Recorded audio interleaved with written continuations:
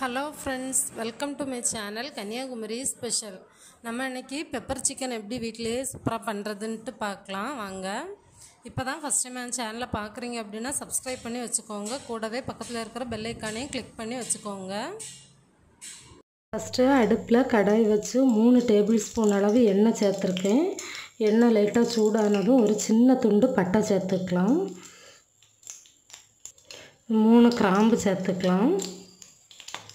ரெண்டு காஞ்ச மிளகா சேர்த்துக்கலாம்.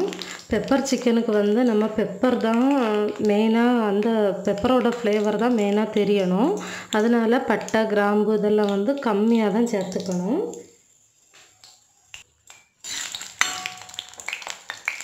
காஞ்ச மிளகா லைட்டாக செவந்து வரட்டும். ஒரு டேபிள் ஸ்பூன் அளவு இஞ்சி சின்ன சின்னதாக கட் பண்ணி வச்சுருந்தேன். அதை சேர்த்துக்கலாம். ஒரு டேபிள் ஸ்பூன் பூண்டு கட் பண்ணி வச்சுருந்தேன் அதையும் சேர்த்துக்கலாம். இஞ்சி பூண்டு ரெண்டுமே எண்ணெயில் நல்லா ரோஸ்ட் ஆகணும். இப்போ இதில் ரெண்டு பச்சை மிளகாய் சேர்த்துக்கலாம்.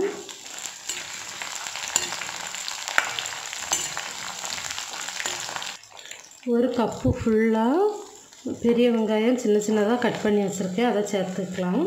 இது வந்து பெரிய சைஸில் ஒரு வெங்காயம் மீடியம் சைஸ் வெங்காயம்னா ரெண்டு வெங்காயம் எடுத்துக்கோங்க. அப்போ கரெக்டாக இருக்கும்.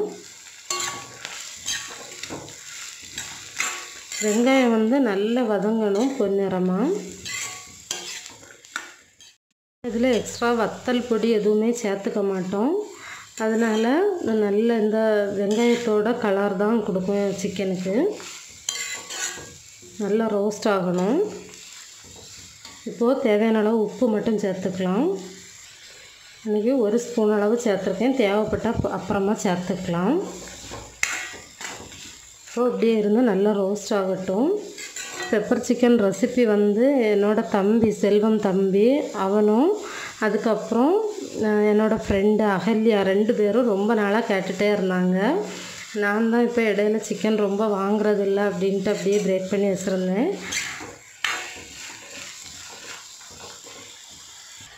அதே மாதிரி இரும்பு கடாயில் ட்ரை பண்ணுங்கள் சுக்கா மாதிரி சூப்பராக வரும். இப்போது நல்லா ரோஸ்டாகி வந்துருச்சு. இப்போ மசாலா சேர்த்துக்கலாம். கால் டீஸ்பூன் அளவு மஞ்சள் பொடி சேர்த்துக்கலாம். ஒரு டேபிள் ஸ்பூன் பெப்பர் பவுடர் சேர்த்துக்கலாம்.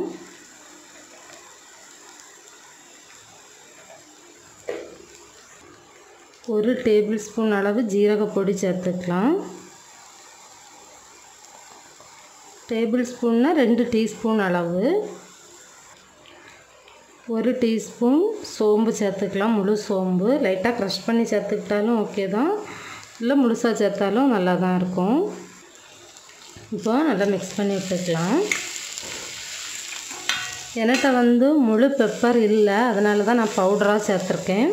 முட்டை முழு பெப்பர் முழு ஜீரகம் இருந்துச்சு அப்படின்னா அதை லைட்டாக இடித்து சேர்த்துக்கோங்க. அது இன்னும் டேஸ்ட்டாக இருக்கும். இப்போ இதில் க்ளீன் பண்ணி வச்சுருக்க சிக்கனை சேர்த்துக்கலாம். நீட்டாக மஞ்சள் பொடி உப்பு போட்டு க்ளீன் பண்ணி வச்சுருக்கேன். அரை கிலோ சிக்கன்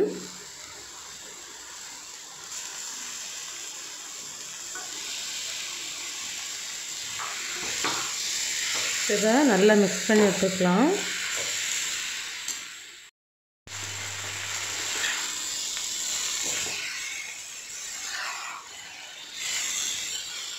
தண்ணி எதுவும் எக்ஸ்ட்ரா சேர்க்கக்கூடாது. சிக்கனில் உள்ள தண்ணி வெளியே வந்து அதுலேயே குக் ஆயிரும். நம்ம நல்லா ரோஸ்ட் மாதிரி தான் வரணும்.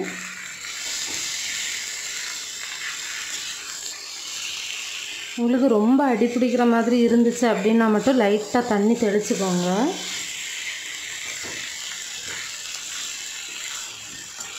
இப்போ கொஞ்ச நேரம் அப்படியே இருக்கட்டும். லைட்டாக அப்படி மூடி வச்சுருந்தேன் ஒரு அஞ்சு நிமிஷம். பாருங்கள் நிறைய தண்ணி வந்திருக்கு. இப்போ இதை லைட்டாக மிக்ஸ் பண்ணி எடுத்துக்கலாம். அப்படி இல்லைன்னா ஒரே சைடில் குக் ஆகும். அதுக்காக தான்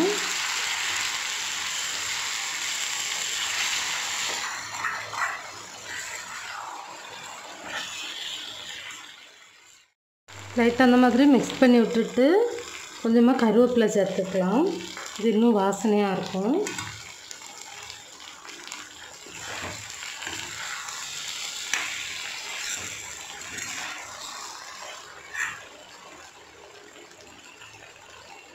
இன்னும் ஒரு பத்து நிமிஷம் மூடி வச்சு வேக வச்சுக்கலாம்.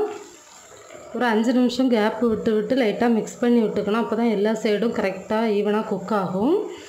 சிக்கன் வெந்ததும் இறக்கிக்கலாம். கரெக்டாக ஃபிஃப்டீன் மினிட்ஸில் சூப்பராக குக் ஆகிருக்கு பாருங்கள் இந்த மாதிரி நல்லா சிக்கனும் நல்லா வெந்திருக்கு நல்லா ட்ரை ஆயிருச்சு.